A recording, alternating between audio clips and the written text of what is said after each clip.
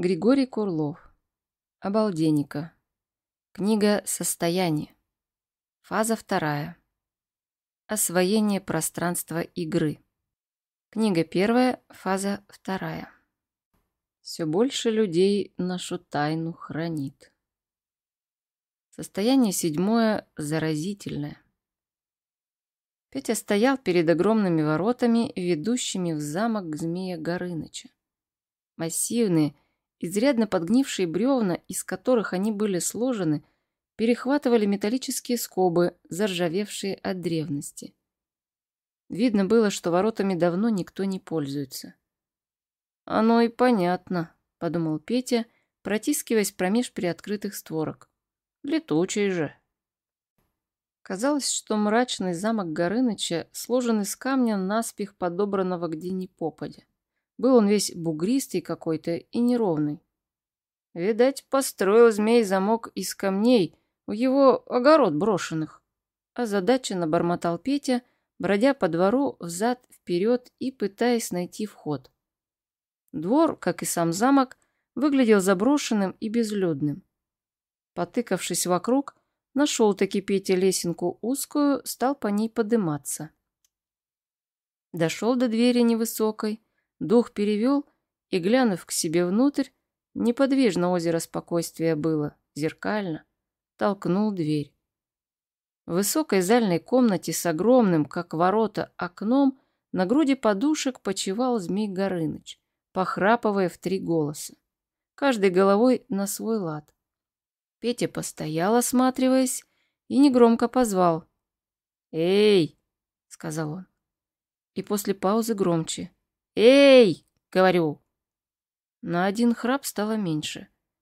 Средняя голова, приоткрыв века, невнятно пробормотала. «Я ж тебе сказал, приходи завтра, а ты каждый раз сегодня приходишь, да сегодня». Голова гулко потянула носом и вдруг резко вскинулась. «Дух!» — сказала она, вращая глазами. «Человеческий дух!» Нашарила взором Петю и будто насквозь пронзила злющим взором.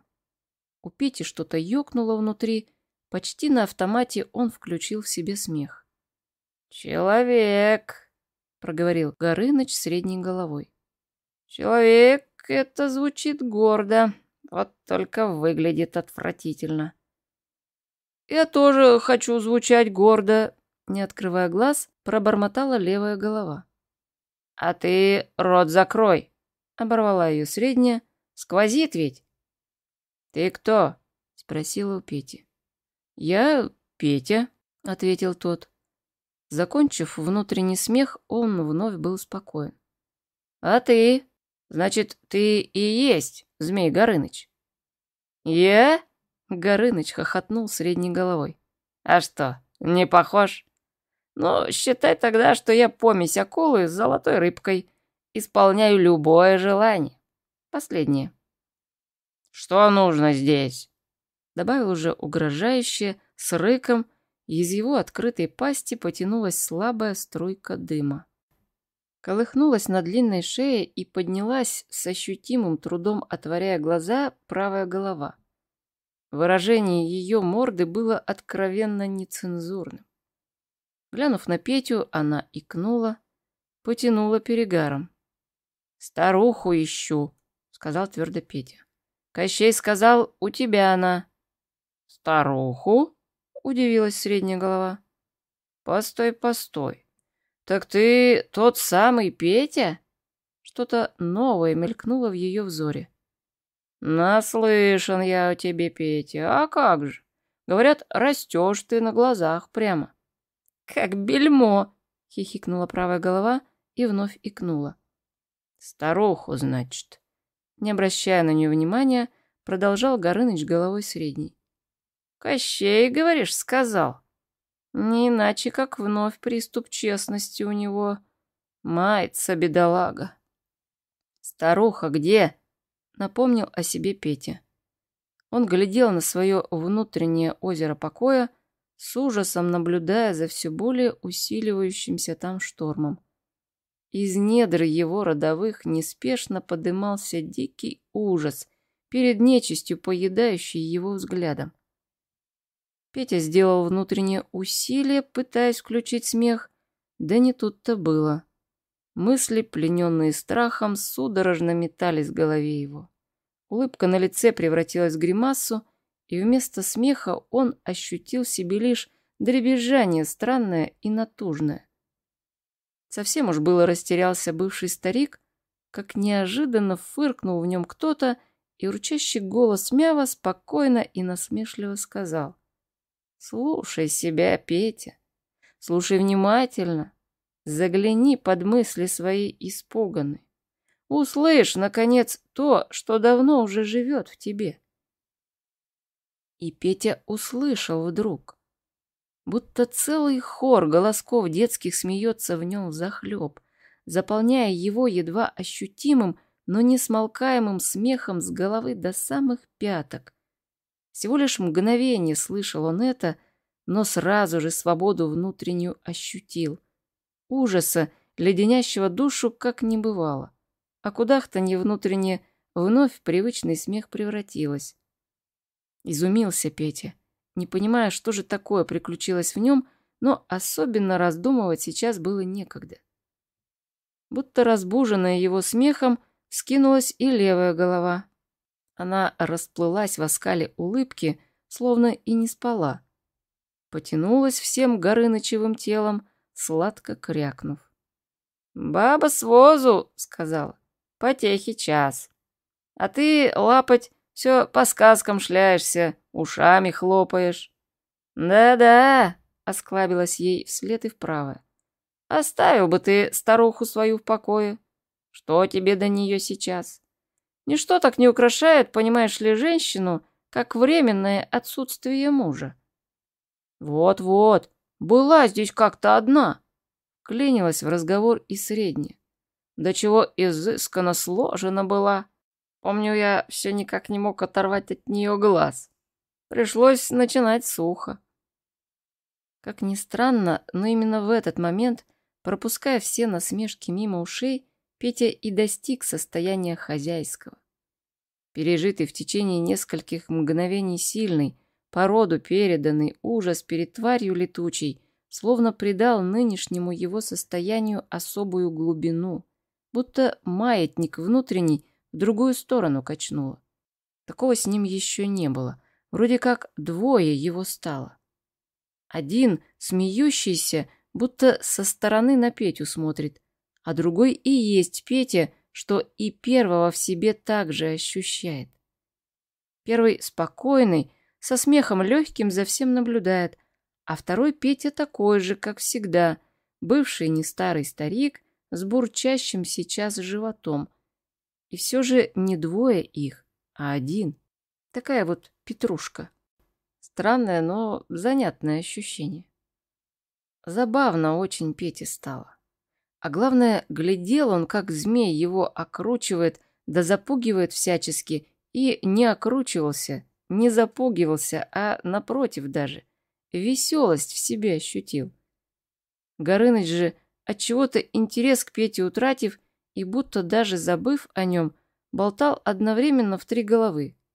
«Приходят разные, хамят», — говорила одна, — «на бой вызывают. А что, я и не против. Каждый рыцарь — это 70-80 килограммов хороших мясных консервов. Латы аккуратненько так отогнешь, и всю оставшуюся жизнь он видел летящий в него кирпич. Вспоминала о чем-то своем приятном другая голова. «Ничего не понимаю», — говорила третья, ковыряя в носу когтистым толстым пальцем. «Впрочем, какая разница?» Неожиданно Горыныч замолчал весь и в шесть глаз уставился на Петю. «А было у царя три сына». Неожиданно начал он говорить головою левой. И послал их отец во двор. Наступил на грабли старший сын, и шандарахнула его рукоять промеж глаз ясных. Наступил на грабли средний сын, и туда же шандарахнула его рукоять та же. Пригорюнился тут младший сын, да делать нечего. Петя слушал змея в полухо, так как вновь ощутил странное, словно тысячи звонких голосков засмеялись в нем, то ли отзываясь на внутренний смех, то ли, напротив, призывая и поддерживая его. Будто каждая клеточка стариковская превратилась в маленькую, самозабвенно хохочущую рожицу. Длилось такое состояние совсем недолго, вспыхнув лишь на мгновение смеющимся светлым пламенем. «Глупая сказка», — сказал Петя, возвращаясь к действительности и обрывая змея на полуслове. «Не про меня». «А вот это мы как раз и проверим», — прошипела средняя голова Горыныча. «Старуху тебе». «Слушай сюда, Петя», — сказала она вдруг пронзительно.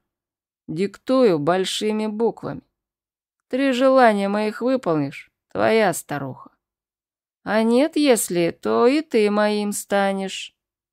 Змей загоготал в три глотки, наполнив воздух смрадом перегарным, и добавил, глядя на Петю, уже откровенно кровожадно.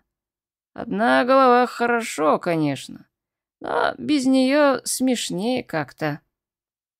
«Вот тебе мое первое желание», — сказал Горыныч. «Подарок хочу. Пойди туда, не знаю куда. Принеси то, не знаю что». Во как.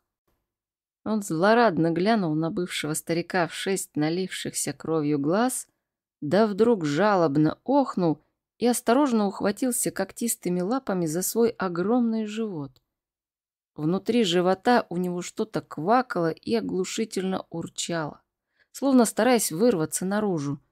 Ругаясь и постановая одновременно, Горыныч шумно ринулся из комнаты, оставляя Петю наедине с собой. «Да уж», — бормотал приунывший Петя, нагуливая круг за кругом по громадной горнице Горыныча. «Куда идти? Чего искать? Подарок ему принеси. Меч бы кладенец тебе в подарок». Совсем уж буйную голову он повесил, глазами потускнел, да мыслями тяжелыми, как каменьями, придавил себя. Как что-то рядом с Петей мурлыкнуло, вздохнула мелко по-кошачьи, и повисла в воздухе перед ним улыбка рыжая. «Место клизмы, Петя!» Насмешливый голосок мява в голове его заурчал. «Но никак изменить нельзя. Видно, вновь тебе ее в ухо впихивать придется.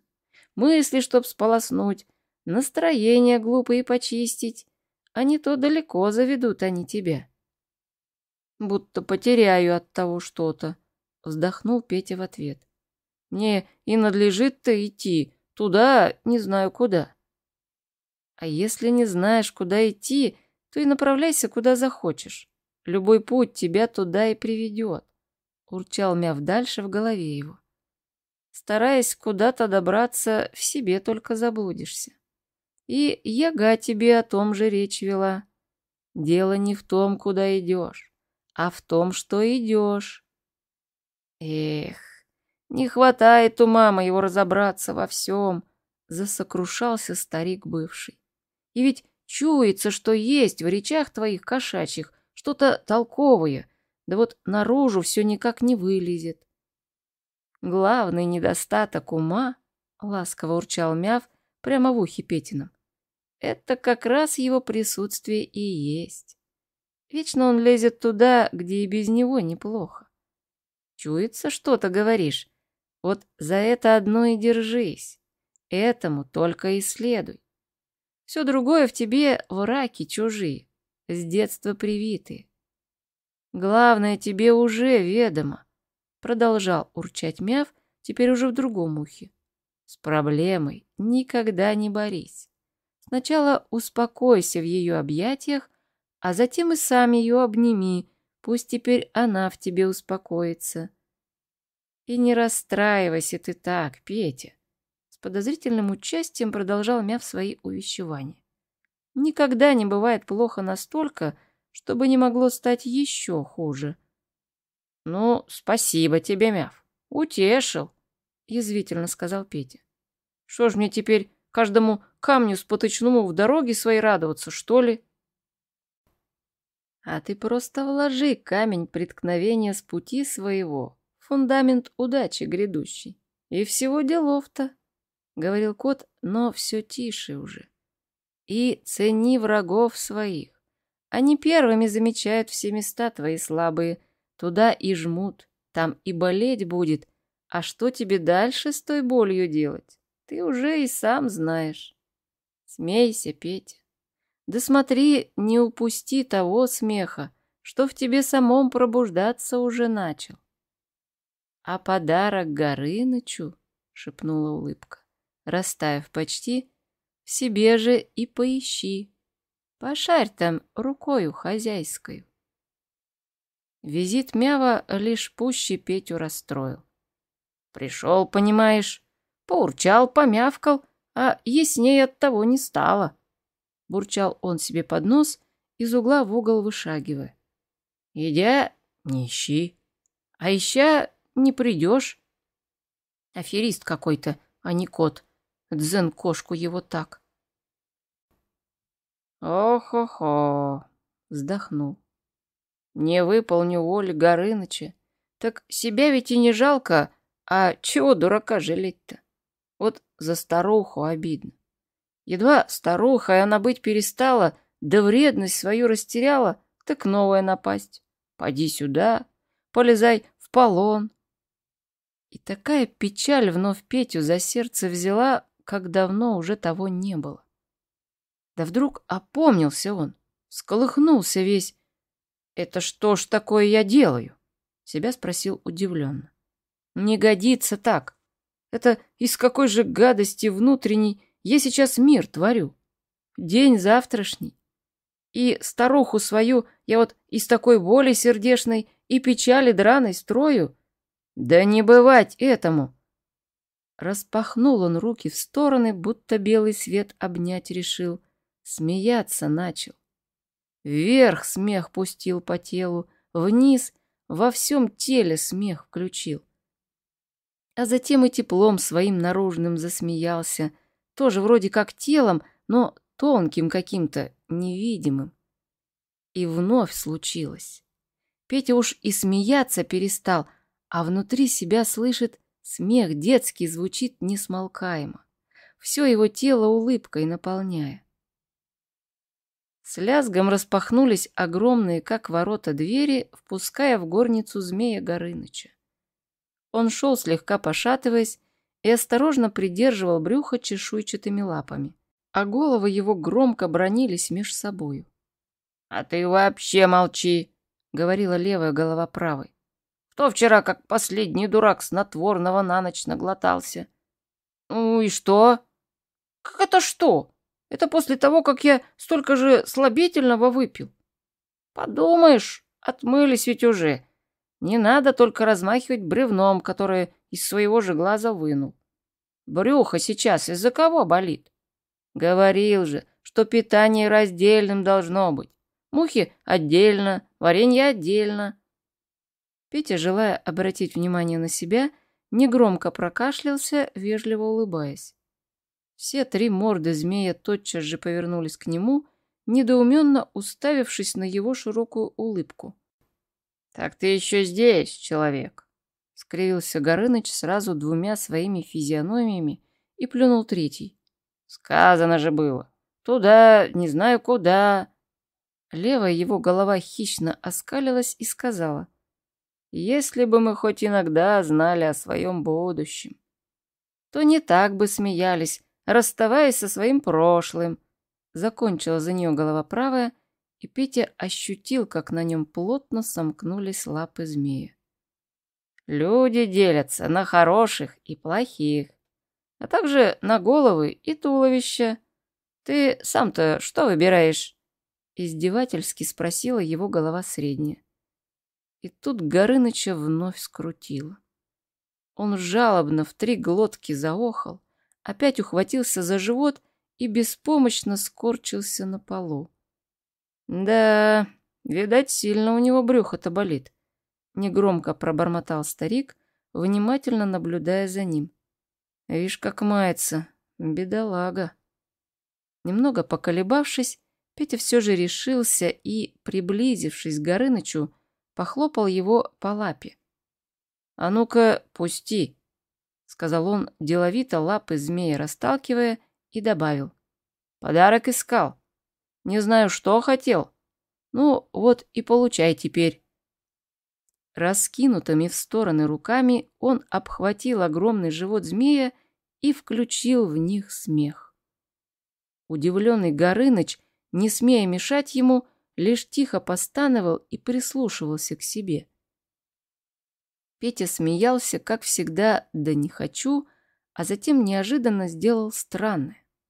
Он будто вынул из себя шар невидимый и смеющийся, меж ладоней его поместив, да прямо в брюхо к змею и вставил. Пусть теперь он там поживет, посмеется. А ведь не болит, чуть погодя сказал удивленно Горыныч головой левой и осторожно пощупал живот. Совсем не болит. Расплылся он в недоверчивой улыбке головой правой. «Ай да Петя!» — сказал головой средний. «Значит, вот это и есть не знаю что? Да ведь это просто черти что какое-то! Зато от всего помогает!» — сказал Петя, радостно улыбаясь. Стремительно обретая прежнюю наглость, Горыныч покосился на улыбающегося старика. «Рано веселишься», — сказал. «Это всего лишь первое задание было. Примерочное. Посмотрим, как дальше справляться будешь». Он еще раз внимательно осмотрел Петю. «Чем ближе кого узнаешь», — поделился с ним сокровенным, «тем подальше потом пошлешь. Так что ступай, Петя, в царство тридесятое». Или тридевятое. Запамятовал. И принеси мне блюдечко волшебное и яблочко наливное, что по нему бегает, да все, что хошь, показывает. А как не принесешь, ну, про то ты уже и сам ведаешь. Смех как инструмент сверхсознания.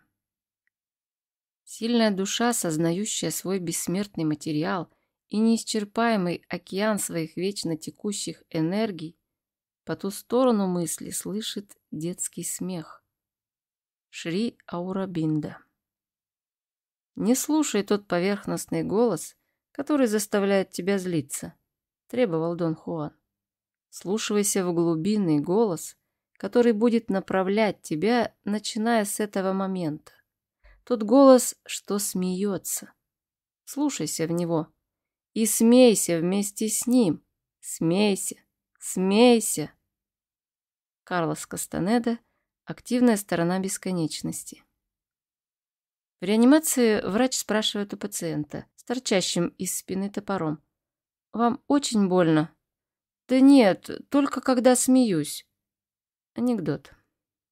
Человек, как дитя природы, как создание Божье – щедро наделен целым рядом свойств, способностей и механизмов, об истинном назначении которых он либо не подозревает вообще, либо только начинает постигать их скрытый смысл, робко и неуклюже используя лишь верхний слой их непроявленных возможностей.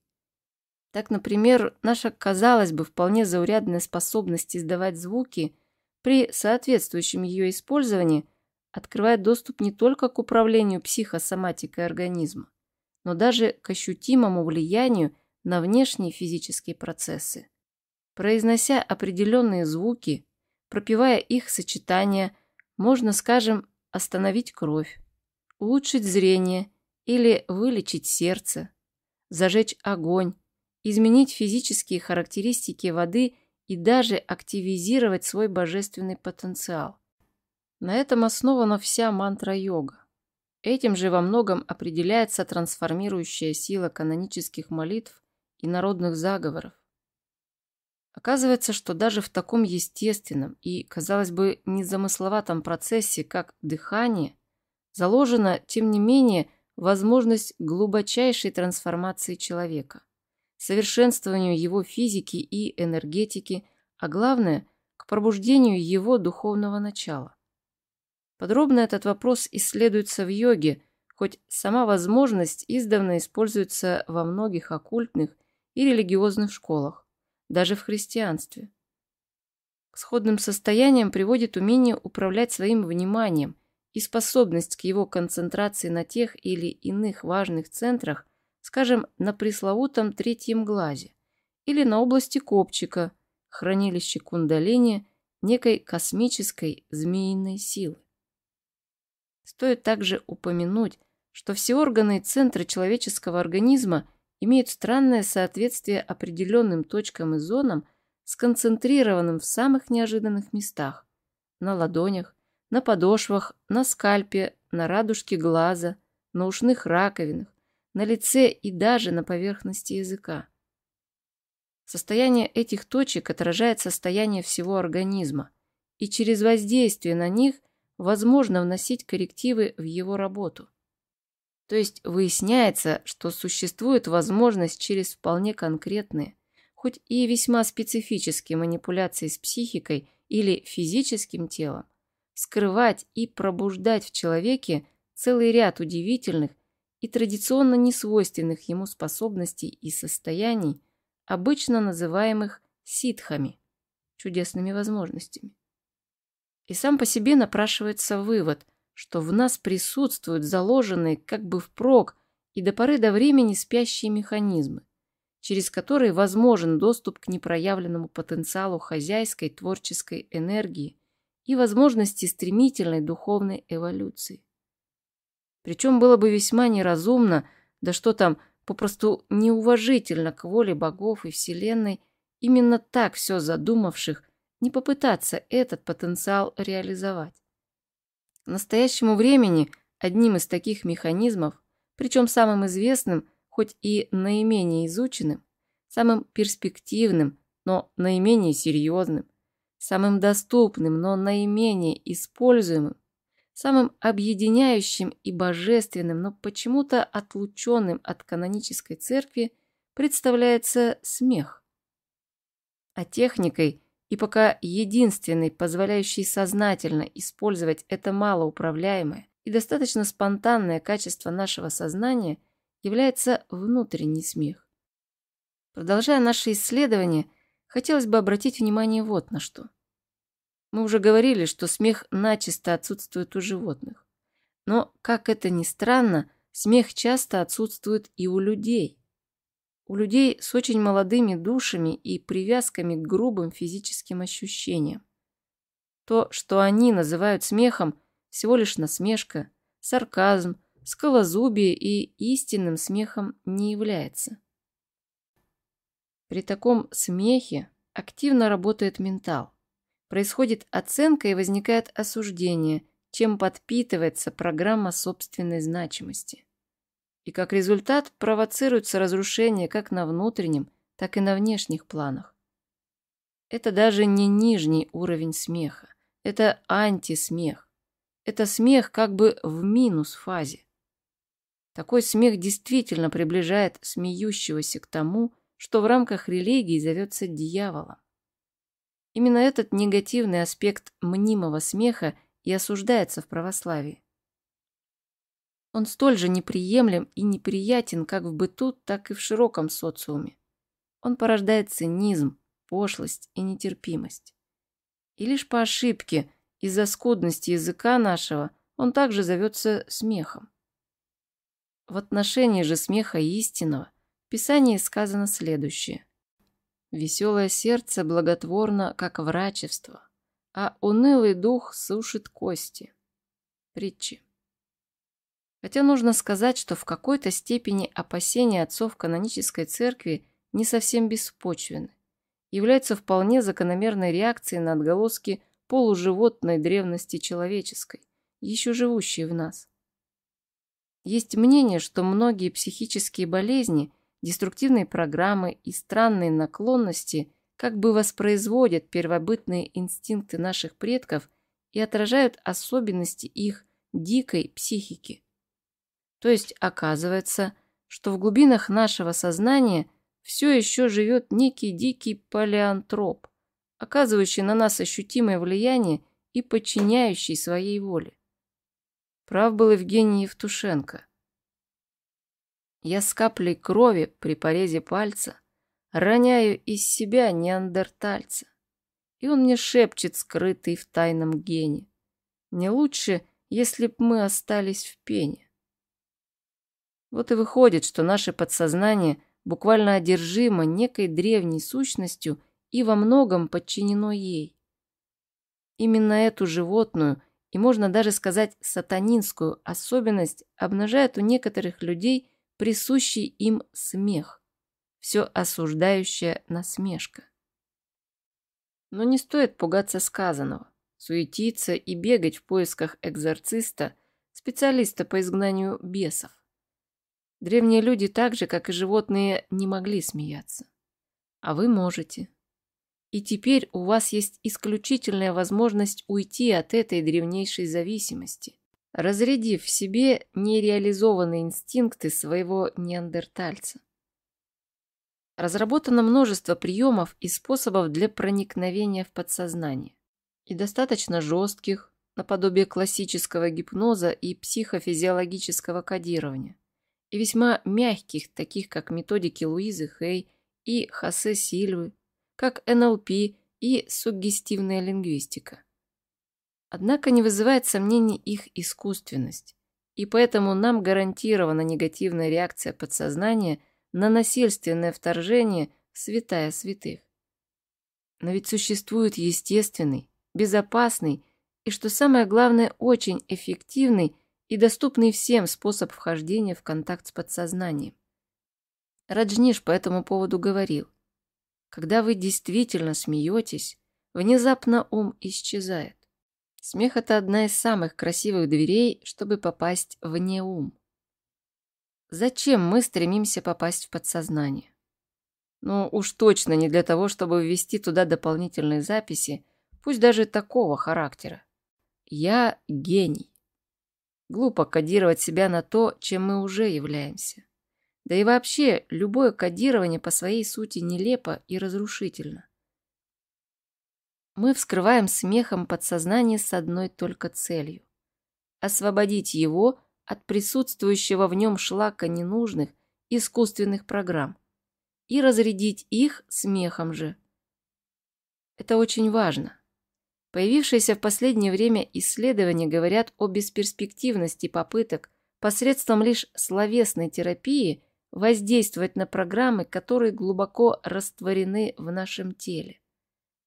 Психотерапевты работают лишь с верхним слоем записей, а в случаях программ, присутствующих на уровне клеток, эффективность их работы стремительно падает. И требуются уже более серьезные мероприятия – которые, однако, классическая психиатрия не признает. В рамках нашей школы мы используем для этого удивительно эффективный внутренний смех. Практикуя его, мы предельно ослабляем доминирование ментала над нами. Сложная машина мыслей как бы останавливается. Но странное дело, глупей от этого мы почему-то не становимся. Скорее, напротив – Смех, выключая искусственные программы, позволяет обрести истинную разумность, так как именно в таком нементальном состоянии, через ощущение, приходит понимание того, какую значительную часть жизненной энергии эти программы стягивали на себя. Зато теперь вся освобожденная смехом энергия непрерывно утверждает нас в новом качестве, наполняет оптимизмом и желанием жить. Хаоса мыслей нет. Несколько непривычно, но насколько ярче и красочнее становится ощущение. Осознание всего делается более отчетливым и позволяет глубже и убедительнее ощутить все, ранее казавшееся спорным и зыбким. В таком состоянии длящегося внутреннего смеха и ментального затишья возможно даже читать, хоть при этом не происходит считывание по одному слову, как прежде. Мы воспринимаем уже некий информационный поток, словесно необусловленный. Тот, кто занимался техниками скорочтения и специально тренировался в выключении внутреннего проговаривания, хорошо понимает, о чем идет речь. Но все же главное, что при этом словно выключаются ментальные программы таком состоянии исчезает и становятся прозрачными границы пресловутой зоны комфорта. Вы депрограммируетесь как компьютер и становитесь реально свободными. Таким вот смешным способом решается задача фантастической емкости и сложности. Очень просто решается. Приятно, что все вышесказанное весьма легко проверить. Отследите любую включившуюся в вас программу. Лень, страх, искусственно вызванное сексуальное возбуждение, желание закурить, недовольство чем-либо, беспокойство, желание выпить, расслабиться у телевизора или съесть что-нибудь сладкое, включите смех и отслеживайте изменения своих состояний. Не надо слушать ничьих советов. Не стоит верить никому и ничему, в том числе и этому тексту. Просто смейтесь и прислушивайтесь к себе, но будьте при этом честны. Не допускайте ни малейшего внутреннего насилия над собой. Вы готовы принять все, любые ощущения вы лишь честно отслеживаете. Что же у вас там внутри происходит? А там сплошной веселый звон. Это лопаются и бьются стеклянно-прозрачные, невидимые вами ранее программы. И вы обретаете все большую свободу в поступках, чувствах и поведении. И с удивлением отмечаете, сколь много, ранее казавшееся нормальным и единственно возможным, в действительности оказывается нелепой и коварной программой. И уже с большим пониманием читаете у Оскара Уайльда. Ничто так не мешает роману, как чувство юмора у женщины и его отсутствие у мужчины. И у Бернарда Шоу иногда надо рассмешить людей, чтобы отвлечь их от желания вас повесить. И даже, кто бы мог подумать, у Махатмы Ганди. Не будь у меня чувства юмора, я бы давно покончил с собой. И уже лучше понимаете Вольтера, сказавшего, что сделалось смешным, не может быть опасным и улыбаетесь вместе с ежелецем. Максимальным чувством юмора обладают умершие. Они смеются надо всем. Эрик Берн в книге «Люди, которые играют в игры», описывая типичный сценарий поведения мошенника, делает следующее замечание. Опытные мошенники опасаются людей, которые смеются, обнаружив, что их обманули. Почему? Потому что смеющийся человек перестает быть жертвой. Во всем. И это главное. Социум, в котором мы пребываем, уже давно перестал быть отражением нашей сути. Его интересуют лишь наши кукольные обличия. Он стал матрицей, тупо подгоняющей все свои элементы, то бишь нас, под некие усредненные, абсолютно нереальные и выгодные лишь одному ему стандарты. Это своего рода прокруст, пытающийся уложить в свою кровать эталон достойного ее идеальных размеров. Но, увы, всех приходится немного подравнивать. Кому ноги укоротить, а кого, напротив, растянуть почти вдвое. Обратите внимание, любой тоталитарный режим серьезен. Любой. Фашизм, социализм, религиозный фанатизм. При социализме была возможна лишь сатира, то есть высмеивание. При фашизме и того меньше. Почему так? Вернон Вульф, создатель холодинамики, писал, когда люди становятся серьезными, они отдаляются от целостной динамики, уходят в линейное, кукольное, мышление. Серьезность уже подразумевает готовность забыть о цельности. Раджниш по этому поводу говорил, серьезность – это просто болезнь души, и только больные душой могут обращаться в рабов. Смех же по своей природе разрушителен и губителен для всего, что остановилось в своем движении, закостенело в развитии. Смех – это сила обновления и движения. Поэтому юмор и смех всегда активизируются и выходят на первый план в периоды социальных изменений, мощных внутренних общественных подвижек. Но смех всегда стихиен и, следовательно, малоуправляем. Социум в попытках самосохранения, понимая, что впрямую ему с этим качеством не справиться, поступает коварнее и хитрее. Он огрубляет и опошляет смех, вновь низводя его до уровня примитивной и безопасной для него насмешки. Вот почему, кстати, такие качества, как пошлость и грубая бескусица, столь же характерны для переходных периодов. Вывод из всего вышесказанного прост.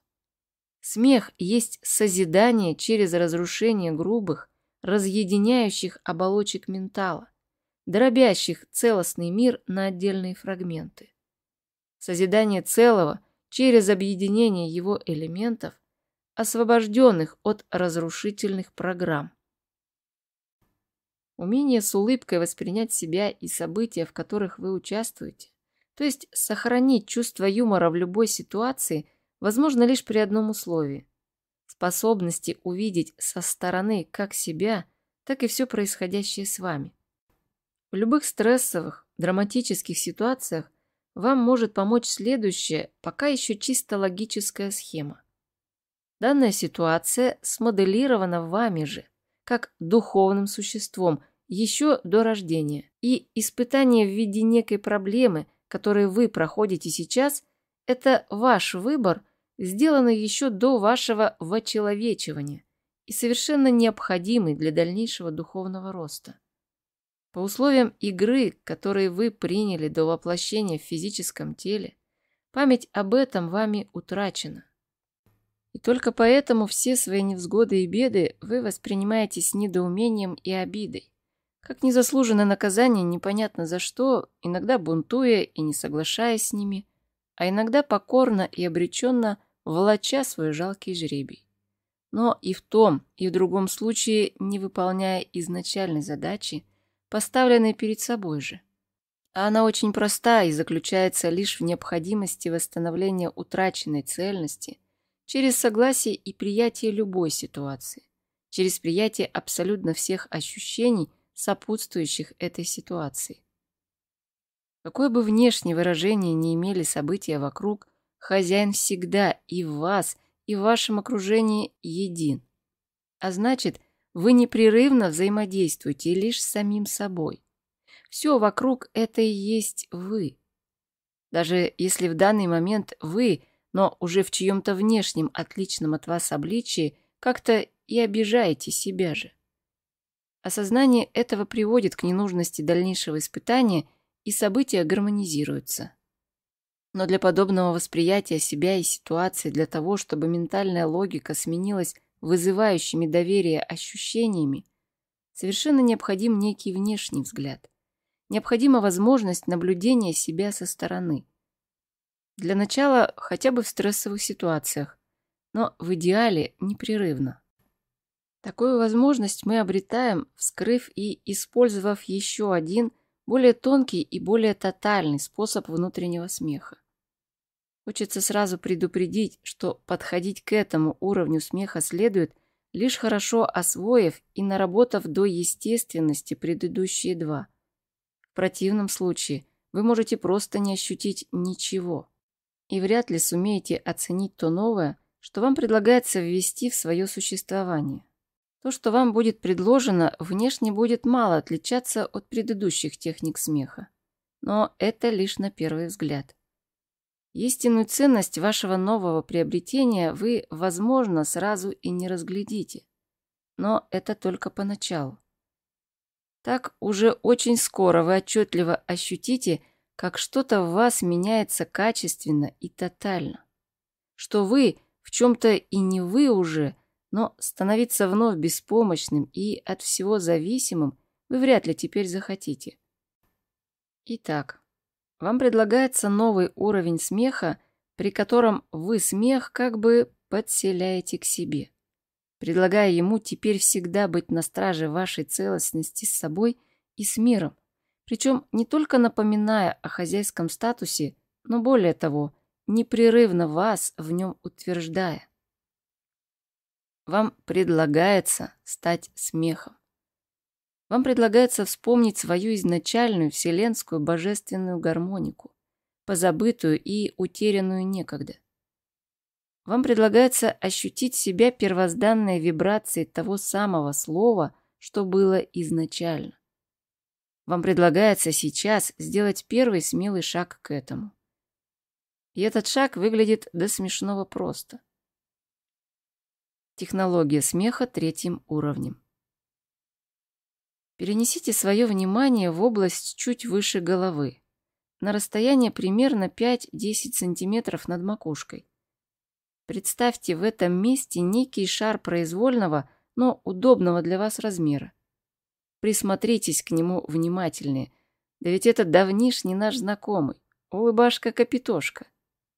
Помогите своим воображением, своим внутренним зрением сформировать его улыбающуюся рожицу.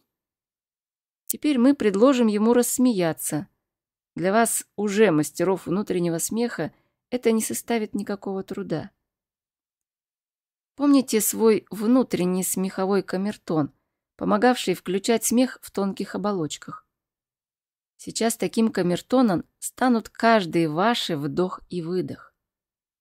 Вы представляете и в какой-то момент ощущаете, что сам воздух, которым вы дышите, вибрирует в смеховой частоте, уже знакомой вам.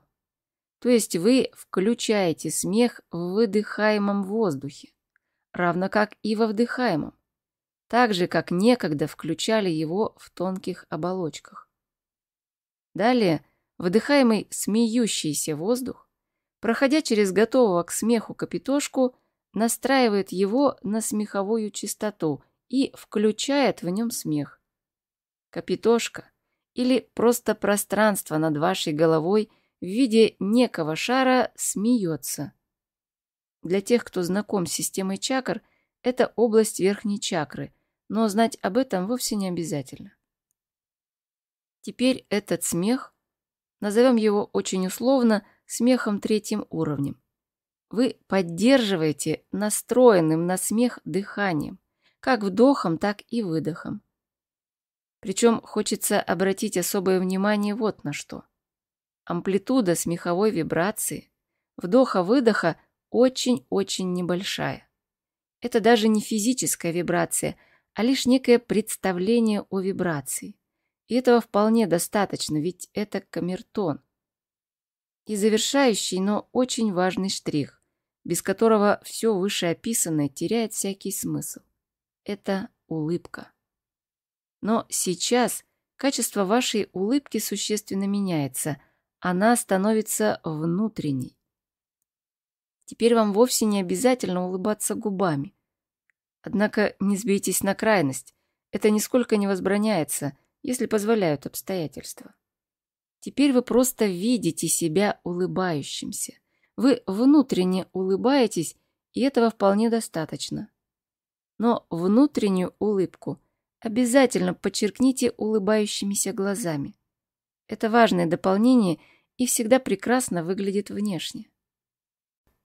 Именно внутренняя улыбка, улыбка глазами и ощущение смеющегося пространства над головой создают все то, что мы назвали смехом третьим уровнем.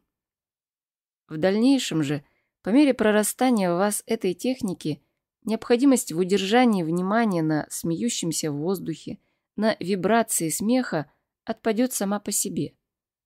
Оказывается, составляющие как нашей физики, так и тонкоматериальных тел обладают своей памятью и даже сознанием. Ниже мы еще поговорим об этом. И будучи настроены на определенные состояния, послушно их хранят и удерживают. В жизни, увы, это больше проявляется в негативных вариантах, когда в нас трепетно хранится память о болезни или боли.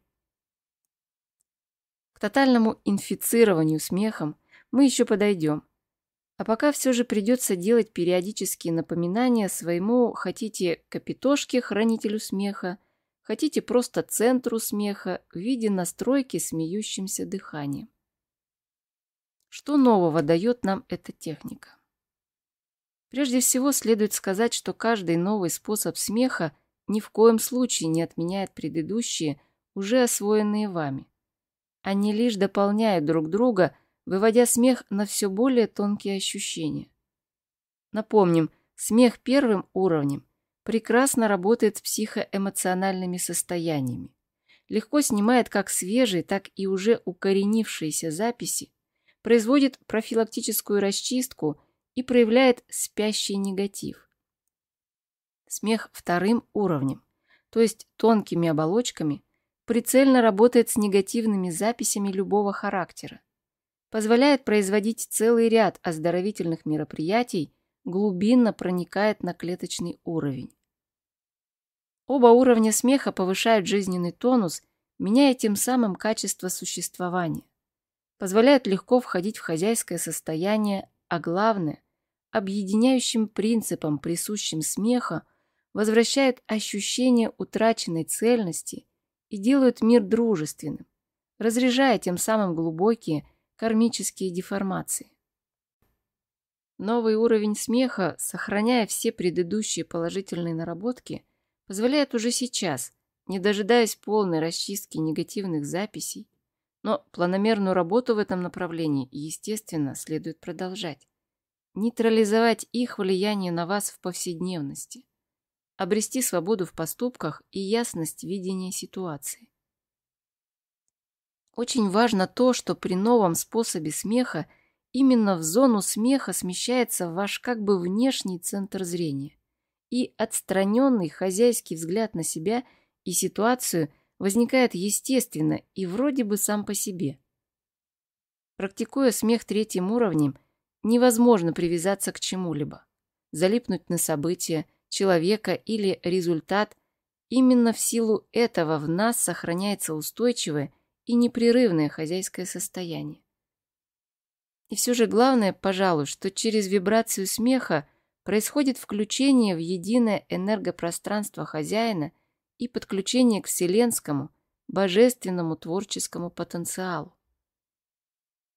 Теперь этот смех, звучащий в вас и вызываемый еще поначалу усилием воли, с каждым днем будет становиться все более автономным и независимым от вашего желания или нежелания смеяться. В какой-то момент вы ощутите, что всегда можете его услышать. Достаточно лишь заглянуть в себя. И наступит день, когда вы поймете, нет, скорее осознаете некой глубокой убежденностью, что ничего нового в себе вы не создали. Вы лишь пробудили. Даже не так, лишь позволили себе услышать ласковый смех заботливого отца или любящей матери, наблюдающих за играми несмышленого пока ребенка. Смех, который звучал в вас изначально. Но ведь вы все это время были столь серьезны и заняты.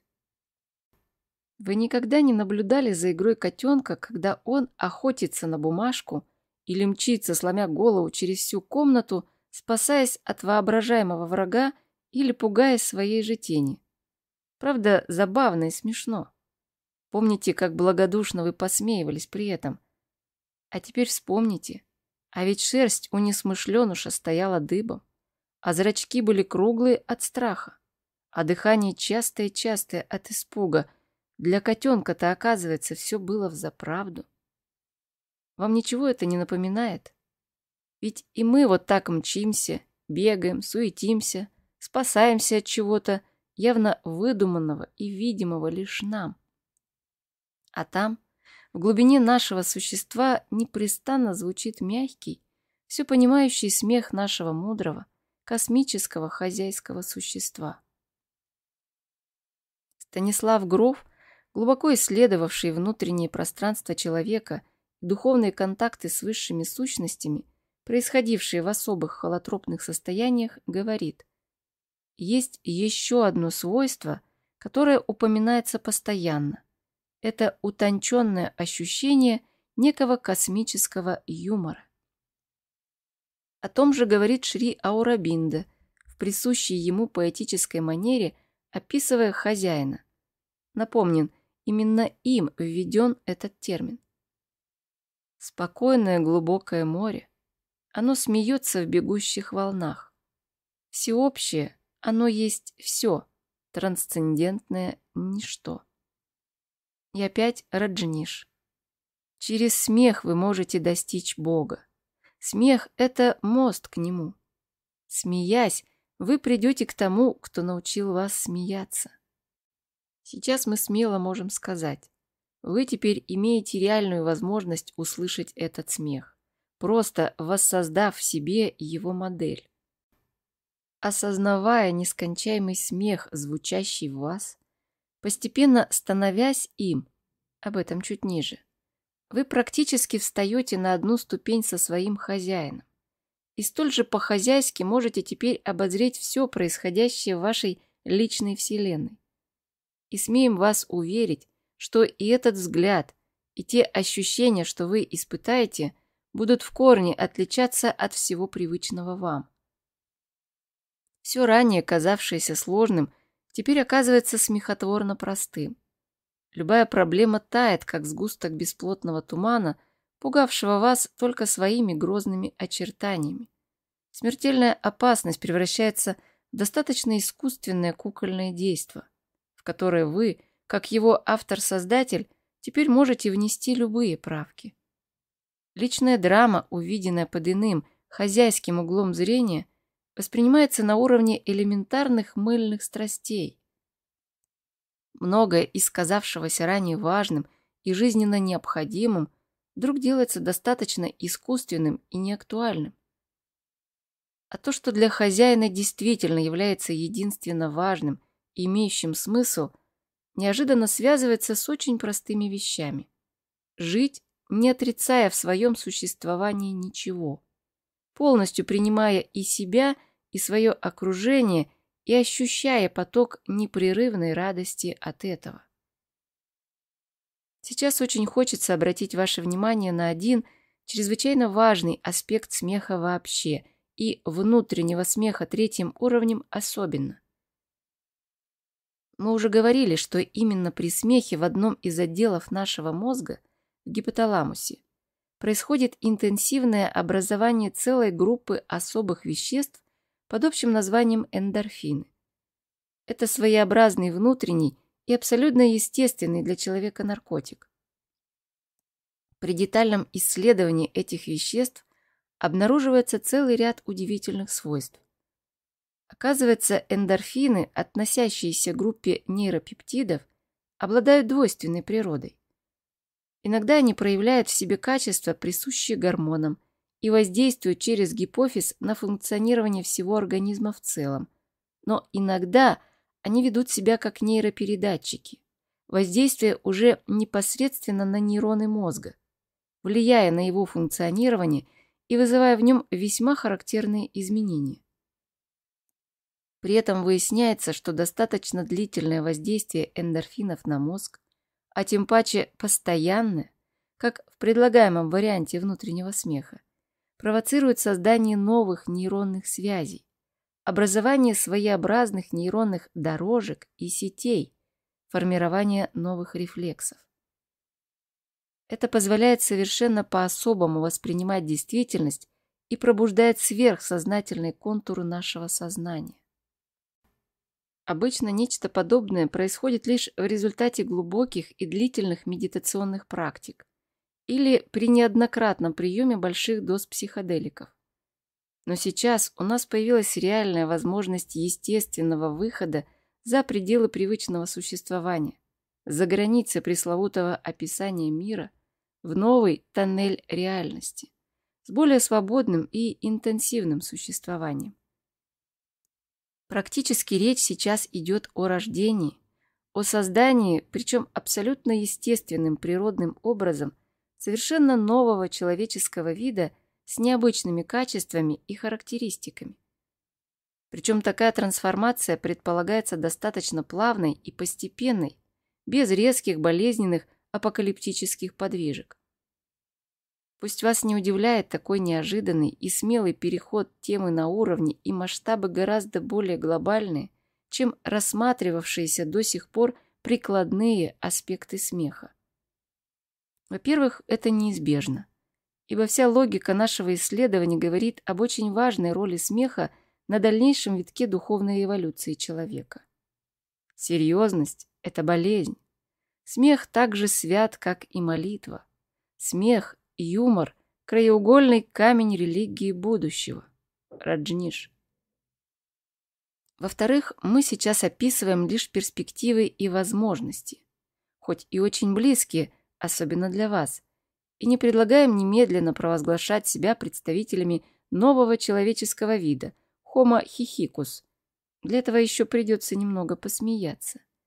А в-третьих, это еще далеко не все из того, что мы можем на сегодня рассказать о смехе и о вас самих, а точнее о ваших возможностях в рамках внутреннего смеха. Вы, наверное, уже забыли, что мы обещали не просто научить вас смеху новым способом, но и помочь стать смехом, ощутить себя той изначальной вибрацией, что некогда создала наш мир. Вы полагали, что мы просто шутили, художественно преувеличивали? Даже не надейтесь. Но для того, чтобы подойти к этому вплотную, нам потребуется сделать некоторое не очень короткое и весьма емкое отступление. Для более полной иллюстрации темы, от которой мы хотим оттолкнуться и которой мы попробуем дать логическое развитие, обратимся к работам Сатпрема, Шри Аурабинда и матери, сподвижницы Аурабинда. Далее следуют цитаты из этих работ с некоторыми нашими комментариями. Физический ум является преградой для трансформации. И в то же время – он является выходом на еще более радикальное открытие, выходом на еще более глубокий слой клеточного ума. Все выделения в тексте наши, Григорий Курлов. Обладающего властью уничтожить не только нашу привычку к несчастьям, но уничтожить любые присущие виду привычки и, в конце концов, старую привычку умирать. Разум клеток очень похож на физический разум своей неистощимой способностью повторять все тот же старый мотив.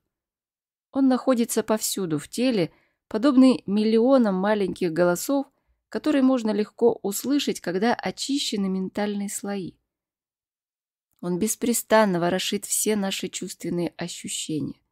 Достаточно, чтобы группа клеток была однажды поражена страхом, ударом или болезнью, как они бесконечно начинают воспроизводить этот страх и стремление к беспорядку, вспоминать о болезни. Это стадный, абсурдный разум, древний. Своей дисгармонией этот страх рано или поздно призовет бессознание смерти. Но вся его нелепая механичность, абсурдный автоматизм могут служить истине так же, как и лжи. Если он хоть раз настроен на вибрацию света, прочтите смеха.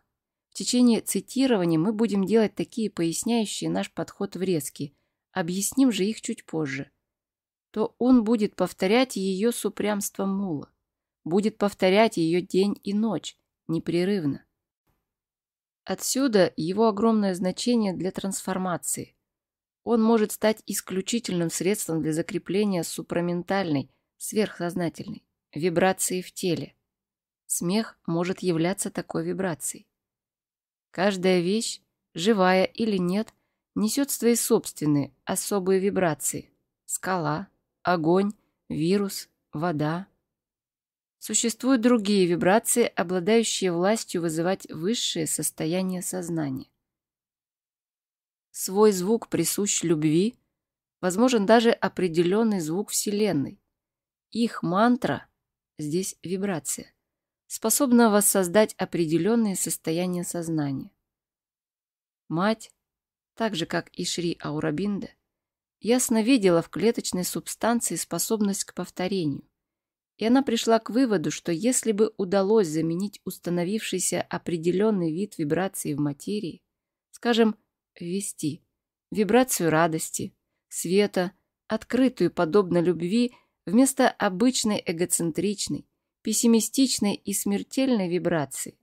Тогда, вероятно, человек мог бы дать этой субстанции клеток новый принцип связи, основанный не на привычках, но на божественном. Вместо того, чтобы ткать саван смерти клетками, будет соткана вечная жизнь. Вибрации распространяются. Все дело в том, что они заразительны. Духовные вибрации, ментальные, витальные вибрации также заразительны. Материя – то место, где заражение происходит моментально. Происходит немедленное распространение. Я заметила, что мантра, вибрация, и можно уже смело добавлять вибрация смеха, обладает организующим воздействием на подсознание, бессознательное, на материю, на клетки. Мантра, вибрация смеха, повторяемая клетками, уничтожает привычку. Удивительно, но это вибрация обладает связующим воздействием. Вся клеточная жизнь становится цельной массой с единственной вибрацией. Вместо обычного для тела множества вибраций здесь лишь одна единственная вибрация. Несомненно, вы уже догадываетесь, о чем идет речь. Шри Аурабинда и мать затеяли грандиозный эксперимент, подчинив ему всю свою жизнь. Их задачей было превратить животный, примитивный разум клеток в разум сверхсознательный, сделав тем самым осознанным все физическое тело человека, все его существо. Клетки с записанной в них программой тупо заставляют нас болеть и умирать. Аурабинда и мать хотели, дав им разумность, достичь бессмертия человека, но не в абстрактном загробном мире, а в физическом человеческом теле. То есть они хотели осознать в себе хозяина не только трансформированным сверхсознательным менталом, но каждой своей клеточкой. Потрясающая и удивительная задача. До сих пор это не удавалось никому. Многим посчастливилось вспомнить себя хозяйскими существами, но еще никому не удавалось это осознание распространить на все составляющие человека, особенно на его физику. Аурабинда и мать смело взялись за эту задачу. Но они не работали со смехом. Им было предельно, непередаваемо сложно быть первопроходцами. Величайшая проблема состоит в том, что телесная ткань соткана из невежества. И потому каждый раз, когда сила, свет могущество стремятся как-то проникнуть, это невежество должно быть удалено в первую очередь. Изначальная реакция неизменно является отрицанием. Тогда как будь здесь всегда улыбка в ответ, боль исчезла бы почти мгновенно. Они были уже близки. Они чувствовали, догадывались, но преодолеть эту грань понимания от чего-то не смогли. Когда через несколько часов боль возвращается, то сами клетки призывают это – улыбку, ощущение радости, а нам так и хочется добавить смех, потому что помнят. Они выходят из своей гипнотической инертности. Освобожденная от привычных оболочек, суть клеток начинает открывать свою истинную природу. Вибрация боли – вибрация лжи, так как во всем мире есть лишь одна вибрация божественной радости. Бог есть радость. Мы это называем смехом. Смех есть единство. Смех есть любовь. Смех есть Бог. Как близки наши пути. Насколько един источник, питающий нас. И насколько проще и радостнее дорога, уже обозначенная и проложенная этими великими людьми. Задача ищущего – не столько бороться с так называемыми дурными вибрациями, сколько хранить себе истинную вибрацию. Хранить божественную радость в теле, ибо она лечит и приводит в согласие все ложные и жалкие вибрации обманутых клеток. У них не было нашего понимания смеха, наших техник, но ведь именно об этой вибрации смеха все их слова – Именно с этой божественной вибрацией радости они связывали все свои планы и надежды. Смерть является децентрализацией сознания, содержащегося в клетках тела. Пока сила концентрации преобладает, тело не может умереть. По-настоящему первым шагом к бессмертию будет, следовательно, замена этой механической концентрации на сознательную. Смеющаяся клетка, осознавшая себя хозяином, подчиняется лишь сама себе. Ей плевать на программы, призывающие ее разрушаться. Вот секрет механизма бессмертия. Внимательно вчитайтесь в следующие слова и вспомните свой, пока еще небольшой, но у многих уже весьма действенный опыт.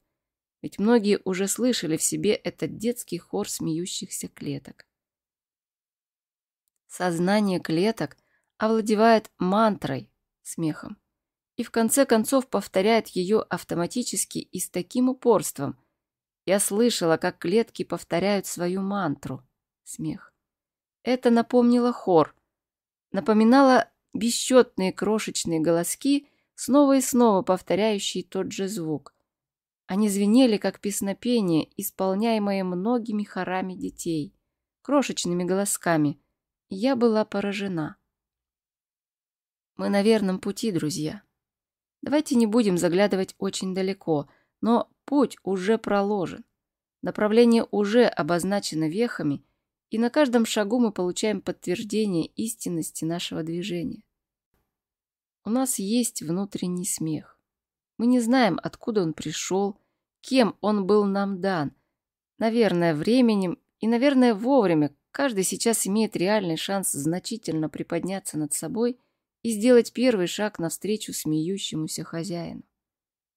Давайте закончим эту тему опять же цитатой из Шри Аурабинде, и поверьте, это о нас с вами, это о каждом. Среди нас должна родиться некая особая раса, совершенный человек, если только мы дадим на это свое согласие. Тогда мы будем обладать радостью этих двух миров, а, впрочем, и всех миров, как если бы они были едины. Ибо такова конечная цель нашей эволюции – радость. Эту радость подделать не может никто, потому что она ребенок, смеющийся на солнце. Радость, а не крест, должна быть целью, устремленной к победе человеческой души, но люди до сих пор влюблены в печаль. Поэтому Христос до сих пор распят на кресте в Иерусалиме. Но эволюция выйдет из ночи и вступит в солнечный цикл. Распятый Бог в нас сойдет со своего креста, освобожденный нашим смехом, и человек станет, наконец, самим собой, станет нормальным. Ведь быть нормальным значит быть божественным. И Сатпрем. Замещение вибраций. Чудо Земли, встающее на место земной лжи. Апокалипсис? Да, апокалипсис с улыбкой. Губительный для мертвецов и светлый для вечно живых. Волшебная сказка в клетках Земли. Коротко прокомментируем вышеизложенное. Несовершенство, ущербность и обреченность человека в этом мире – определены несоответствием между его древними, а по сути животными, клеточными программами и программами социумными, ментальными. К тому же каждая из этих программ работает в режиме присущей лишь ей вибрации, буквально заражая ею определенные группы клеток.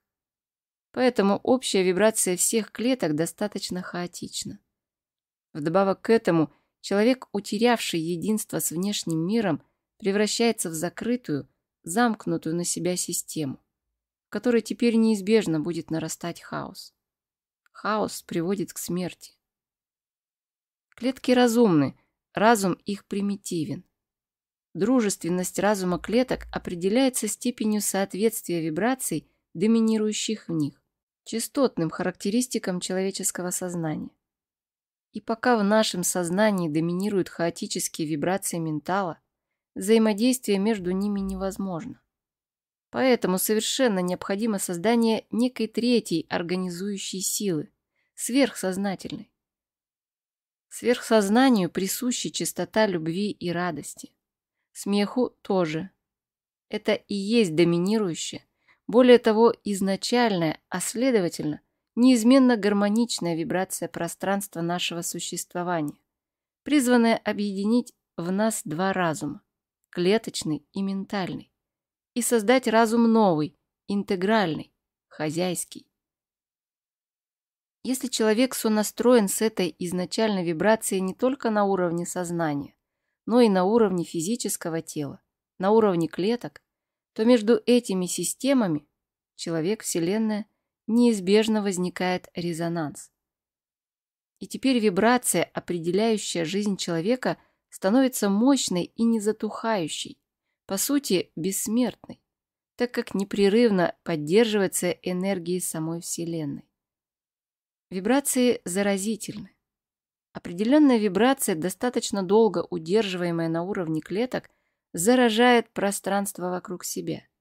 Клетки начинают работать, вибрировать на одной общей частоте.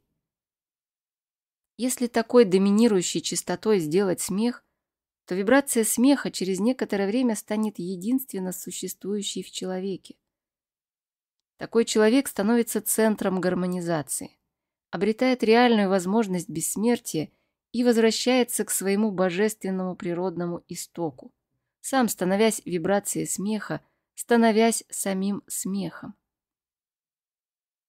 Центром заражения вибрации смеха вам предлагается сделать верхнюю чакру, надмакушечное пространство. Почему именно такой выбор, об этом ниже. Также предлагается все вышеизложенное ни в коем случае целью не делать и к этому не стремиться.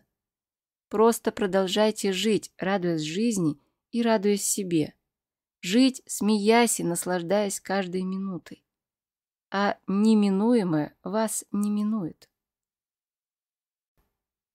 Описывая перспективы внутреннего смеха, мы считаем себя просто обязанными коснуться, пусть вскользь и бегло, темы, в рамках которой возможно более полное осознание механизмов – гармонизирующего воздействия смеха на окружающее пространство. Подробнее этот вопрос мы будем рассматривать на втором уровне школы. Поэтому сейчас постараемся выстроить наше изложение в достаточно лаконичной, а местами даже в тезисной форме. Вы уже знаете, и на этом этапе нашего пути, скорее всего, согласны с положением, что мир нас окружающий мы выстраиваем сами в соответствии со своим внутренним качеством. Этим достаточно общим утверждением мы до сих пор и ограничивались. Но сейчас у нас есть возможность исследовать его глубже. В нашем мире такое качество, как форма, всегда определяет окружающее пространство, влияет на него и его выстраивает. Достаточно на некой плоскости просто нарисовать угол – как это немедленно отразится на характеристиках пространства. Этот угол окружающего. Справа и слева от него оно станет неоднородным и даже в чем-то противоположным по качеству. Если подобный угол будет сформирован уже в трехмерности некими реальными плоскостями, то его влияние на пространство станет гораздо более интенсивным и заметным. Этот эффект хорошо известен магам и народным целителям. Целый ряд ритуалов у них совершается с острыми предметами. Шпаги, ножи, иголки.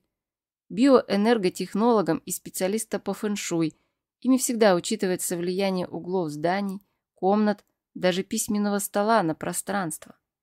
В быту также существует ряд примет и рекомендаций, выполняемых нами без осознания механизмов, в них отраженных, но подтверждающих указанный эффект.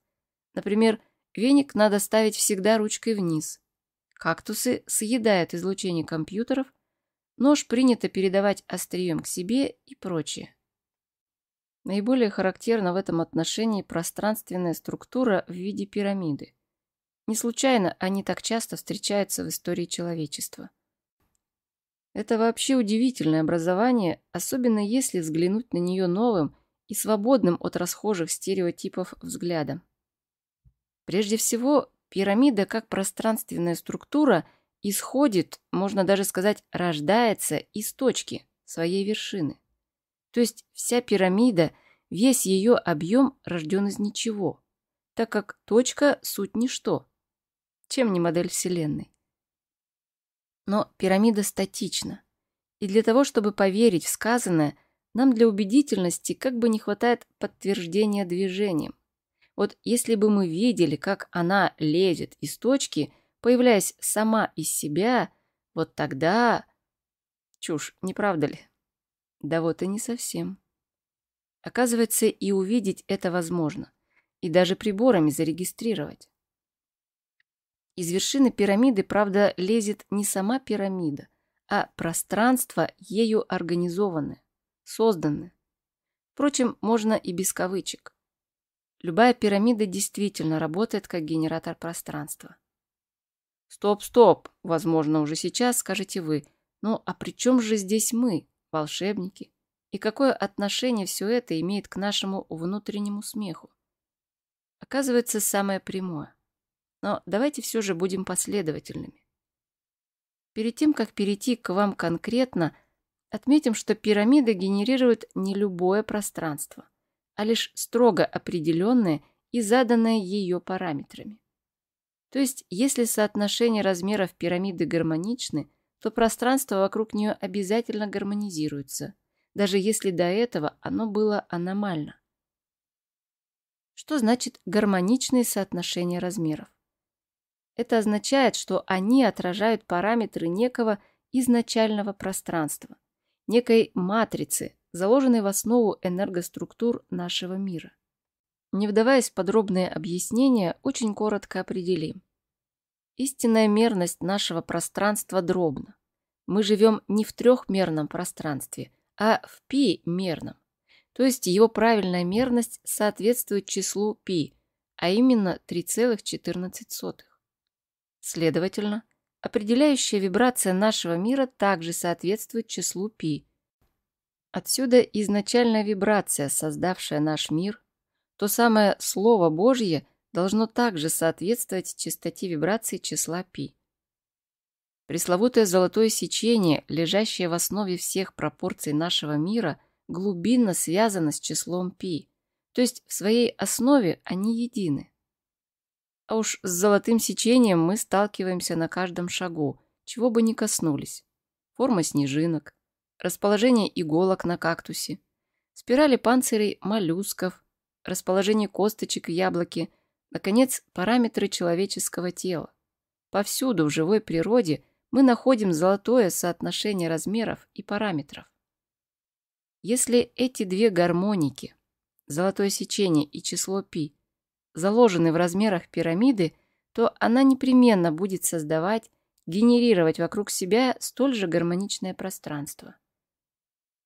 Широко известные пирамиды Александра Голода, успешно работающие в самых различных местах, в том числе и в окрестностях Москвы, используют именно этот принцип. Хоть похоже, что до конца он даже их создателем не понят. Тем не менее, реальность воздействия этих пирамид на окружающее пространство не вызывает сомнений ни у кого, даже у скептиков. Затягиваются озоновые дыры над огромными территориями. Значительно повышается всхожесть семян, выдержанных внутри пирамиды. Меняются физические свойства воды после пирамидного облучения. Но все же, при чем же здесь мы и смех? Дело в том, что человек в своей энергетической основе также представляет собой пирамиду. Точнее, это несколько более сложное образование, состоящее как бы из двух тетраэдров. Тетраэдр – правильная трехгранная пирамида. Это та самая знаменитая Меркаба, являющаяся, по сути, всего лишь трехмерным выражением единства двух начал – мужского и женского, ян и инь. То есть, оказывается, сам человек столь же успешно и в соответствии с теми же принципами организует, генерирует и создает пространство вокруг себя. Вот чем, в частности, проявлен механизм его творения.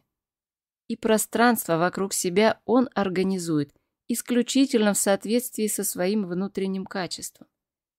Естественно, что у такой сложной системы, как человек, оно определяется не одними лишь линейными размерами и конфигурацией его тела.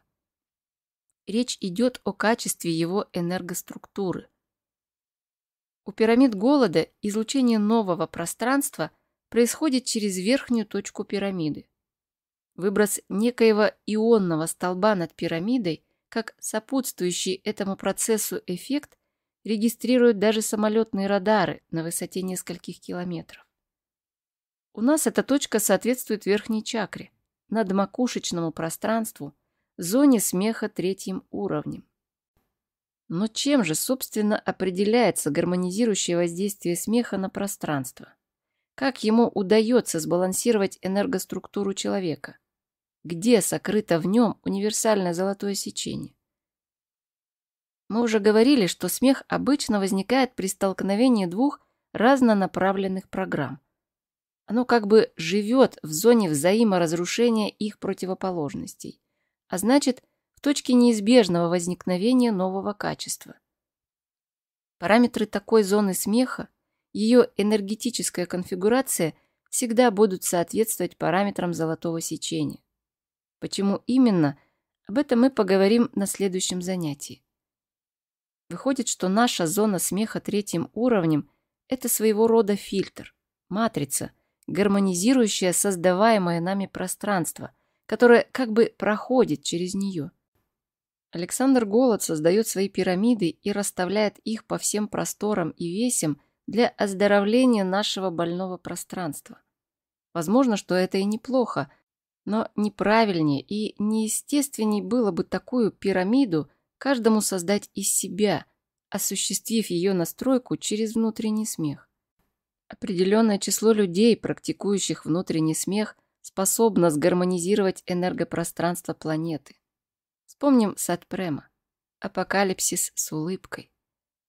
Человек же, ставший смехом, включивший каждую свою клетку в вибрацию, соответствующую гармоникам нашего пространства, сам становится вибрацией изначальной, некогда создавшей наш мир, становится Словом Божьим, смехом Его, улыбкой Вселенной. Рекомендации по созданию состояния. Первое.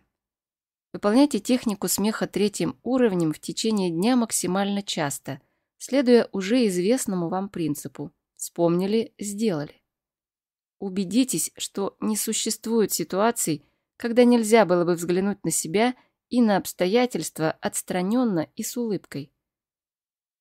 Позвольте этой технике со временем прорасти сквозь вас.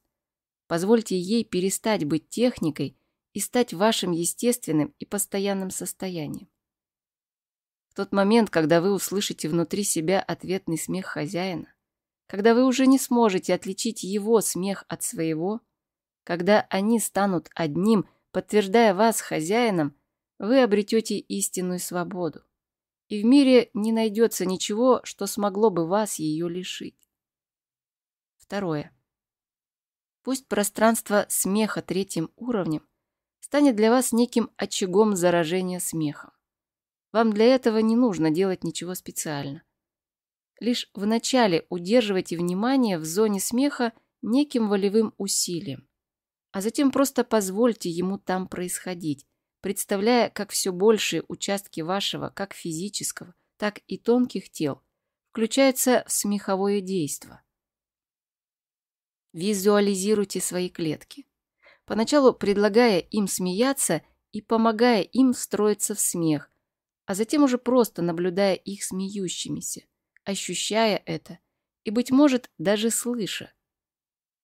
Взращивайте в себе смех, не стремясь к каким-либо конкретным результатам, а просто получая радость от дарованной вам свободы в мыслях, поступках, ощущениях.